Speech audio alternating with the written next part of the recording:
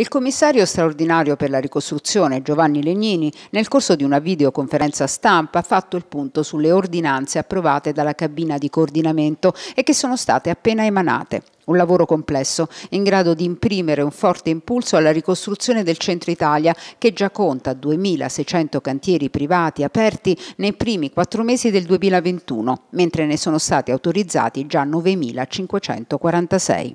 All'incontro hanno partecipato i presidenti, gli assessori regionali e i rappresentanti dei sindaci di Abruzzo, Lazio, Marche ed Umbria. Legnini ha illustrato nel dettaglio le ordinanze speciali in deroga per la ricostruzione dei centri storici di Amatrice, Camerino e Valfornace, delle scuole di Teramo, Ascoli Piceno, della Basilica di San Benedetto di Norcia, degli immobili pubblici del comune e degli edifici ATER della provincia di Teramo. Ordinanze speciali che saranno firmate nei prossimi giorni. Teramo in particolare aspetta da anni di poter ristrutturare la sede storica del proprio municipio in Piazza Orsini, così come le migliaia di sfollati privati ATER di poter rientrare nelle proprie abitazioni di collatterrato.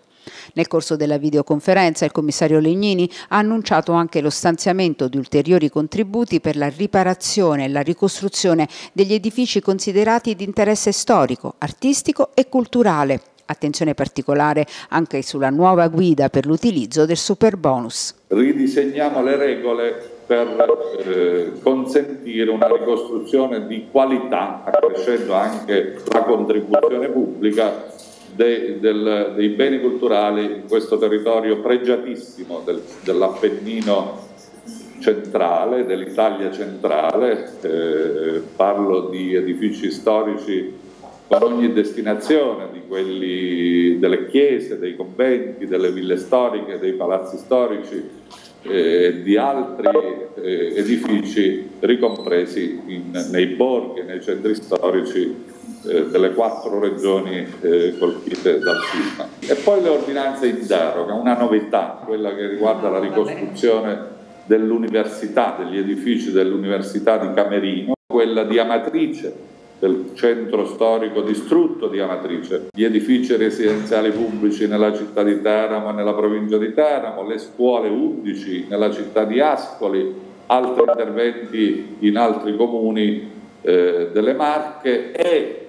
un'ordinanza in deroga per rendere più rapida, più spedita la ricostruzione della Basilica di San Benedetto a Noccia. Il primo intervento dopo la relazione del commissario straordinario è stato quello del sindaco di Teramo Gian Guido D'Alberto, che ha parlato anche come presidente dell'ANCI. D'Alberto ha sottolineato l'importanza vitale di queste nuove misure, ma soprattutto della semplificazione. Un ringraziamento infine da parte di Legnini al ministro Mara Carfagna per l'approvazione del decreto con il quale si assegnano 60 milioni di euro per centri di ricerca e università nel cratere del centro Italia. Per Legnini si tratta di un'iniziativa molto importante con la quale si attribuisce agli Atenei di questi territori, così duramente colpiti, l'opportunità di sviluppare attività di alta formazione e ricerca, necessari per rafforzare il processo di rinascita sociale e culturale.